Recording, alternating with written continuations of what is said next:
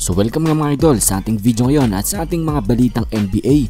Ngayon titignan natin at papanoorin ang lumabas na footage. Ang leak footage nga na lumabas mula nga sa Lakers mini training camp sa Las Vegas na kung saan ito nga ay inorganize ni Lebron James.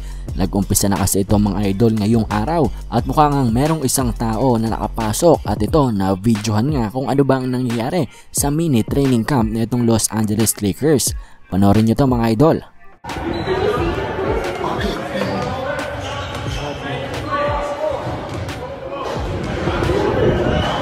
Oh, LeBron's right there. Oh, LeBron's right there.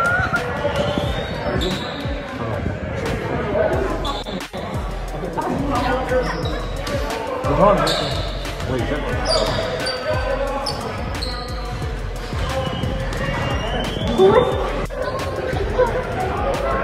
Oh my god.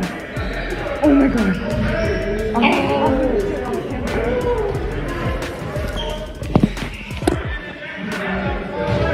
Oh my god.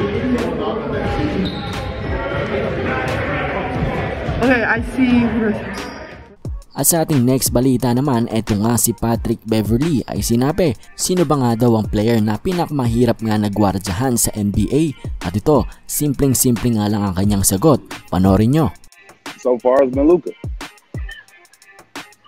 Easy. So far it's been. Luca. You ain't look. You ain't even have to think about that. No, uh-uh. But I'm prepared for his ass too. What you said? I'm on his ass this year too. So. At matapos niya nga nasabihin na si Luka nga daw ang pinakamahirap na gwardyahan sa NBA ay hindi nga natapos doon at sinabi niya at para pang ang nagbanta dito kay Luka Doncic na siya nga daw ay prepared para sa kanya. At sa ating last balita nga mga idol, tungkol nga ito sa Golden State Warriors dahil ngayong araw ay nakakuha nga na naman sila ng bagong player. Ito nga ay ang gwardya at ang magaling na defender na si Avery Bradley. Nag-agree nga daw siya sa isang deal ayon nga dito kay Sham Saranya at sa Warriors reporter na si Anthony Slater. Ito nga si Bradley mga idol kung hindi nyo alam, naglaro nga para sa Miami Heat last year na nag-average ng 8.5 points per game tapos 1.4 assists at 1.8 rebounds. So very solid player pa rin ito kahit papano at napakagandang ang addition para nga dito sa team ng Golden State Warriors. At yun nga lamang din mga idol para sa ating mga balitang NBA ngayon. Maraming nga salamat sa inyong panonood. Huwag kalimutan na mag-like at subscribe para nga sa mga susunod pa nating balitang NBA. So yun lamang, maraming nga salamat muli.